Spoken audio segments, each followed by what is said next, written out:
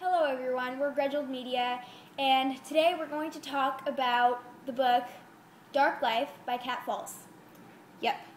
Um, I came about this book in kind of an unusual way. I was shelf shopping at the library, which is not something I usually do, when I came upon this book, and it had such a great cover. It was a jellyfish, and I love jellyfish, so I picked it up, and I was surprised at how good it was because usually books I discover like that aren't that good. After reading the book, we found out that there was a movie coming out of it by Disney. And it's gonna be so cool looking, uh, just visually. Uh, and to, now we're going to review it to help you see why. Now, this book, the basic premise is that it's set sometime in the near future when a bunch of land has sunk into the ocean, leaving very little land for people to live on. Those who do live on land live in these cities called stack cities, which, from my understanding, it's basically like just a bunch of skyscrapers, but like everywhere because Yeah. that's the only land they have. So they live in really crowded apartments, but not everyone because some people decided to go live in the ocean, the subsea pioneers. The book is about a 15 year old boy named Ty who's a subsea pioneer, so he lives in the ocean. Yeah, he um is trying to find out.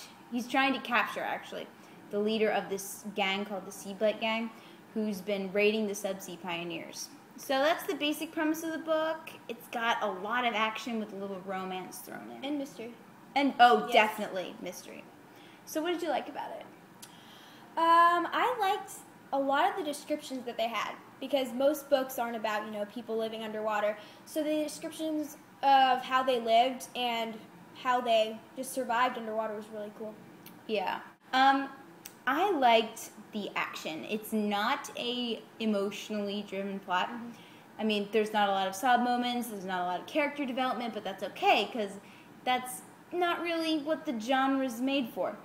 So, I loved the action, and it kept me guessing until the end, which is important because if mm-hmm.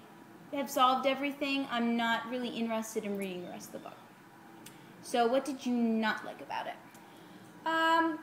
Personally, I thought that it was a little complicated. Others might not, but sometimes I had to like go over and read a bunch of paragraphs again to really understand it. So, yeah, it was sort of confusing that way.